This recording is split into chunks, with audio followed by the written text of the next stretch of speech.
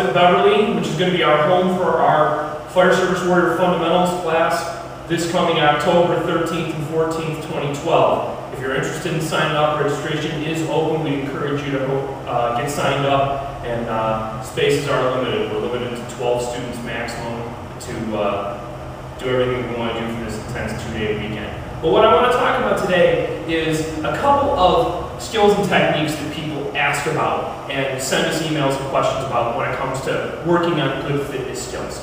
So the one that we're going to work on today is burpees and variations on burpees. There are two prime variations that I like to see when folks are doing burpees. The first is just a typical straight up standard burpee movement, which is going to begin by taking myself down to the ground, kicking my feet up, all the way down to the ground, chest hits the ground. I'm going to come back up. My feet are going to jump in. And I'm going to clap over my head. So at full speed, it's going to look like this.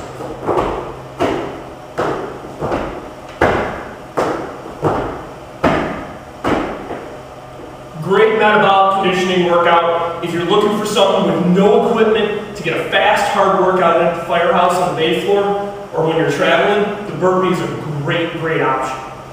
If you have a pull-up ring accessible, nice variation on the burpee, the burpee pull-up. That's going to look like this.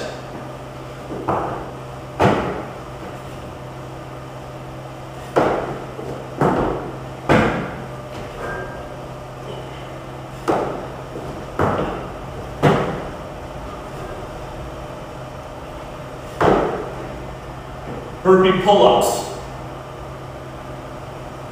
One last variation that we're going to show, burpee deadlifts.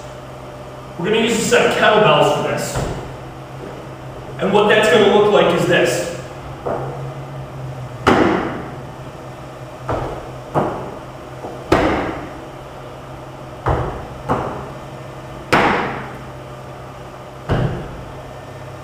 Three different variations on a burpee.